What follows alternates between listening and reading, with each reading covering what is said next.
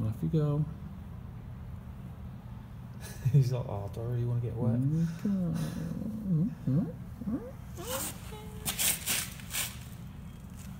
Come on, Hudson, you big suck going in. He's trying to get he's trying to get Brenda's attention. I'm sitting right here. Where's the lettuce?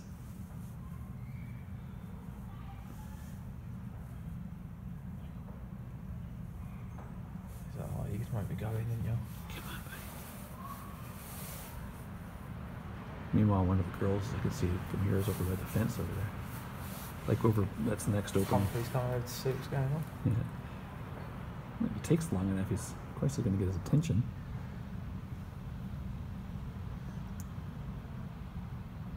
Hmm. Still keeping his distance, isn't he? Yeah, and that's good because that means that Hudson, because Hudson was getting pushed around a little bit, so now he's saying, "All right, you know, enough's enough. Yeah. I'm not playing when I'm up here. This is my quiet time." Come on, Hudson, you know you want to go in. Meanwhile, Humphrey will probably be standing and I'm not looking at him.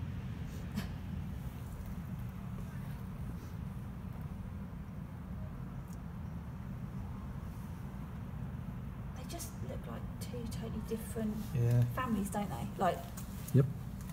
oh, and mum on the girls in the background as well. Yep.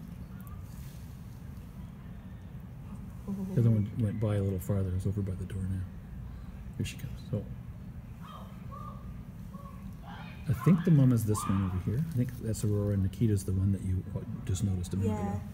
Just judging by the back of their necks right now. Nikita's carrying a little more um, fur on her. Fair.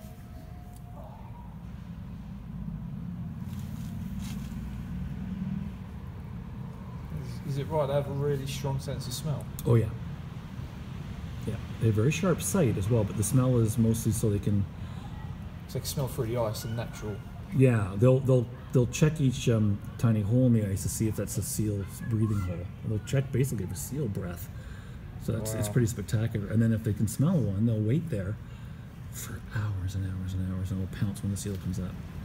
That's I they have love to. the way they punch through the ice. Yeah. Yeah, it's pretty amazing. Well, sometimes they'll just grab them. If the seal brings its head up, they'll just grab. They have incredible jaws. I don't know if you've gone through the panda exhibit yet, but they Yeah. have Yeah. huge jaws because of the bamboo. These have very similar structure because they have to grab. They use their feet as you Yeah. know, st- like a like like I'm not a tripod because obviously, but something you know, stability. nice yawn over there. Uh, and then they'll grab with those huge jaws and pull this 250 pound seal right out through the ice. Because usually, most of the time, uh, a seal's going to be able to outswim them. They can't hunt them in the water. Yeah. But there's video that I just saw recently from the David Attenborough series, The Yeah. Hunt, I think it is, where the where this starving female had to jump in the water after the seal, and she came out with the seal, which I've never. That was incredible. Laura's got a photo with Humphrey stood up on his back legs. Really? Yeah. Oh, there's an eight. Well, we don't know. Did the keeper go up in the sand? Was he up? I don't know. I've Oh. literally just come back from the toilet. Oh right, of course. Sorry. Have we finished with what? I think we found two big bears. Hi, hey, big guy. Oh, is he going I in? know, you like He's pick, it's been just- threatening for a while. Yeah. So you see the two girls up there too, eh? So Yeah. You've got four all in the same picture right now.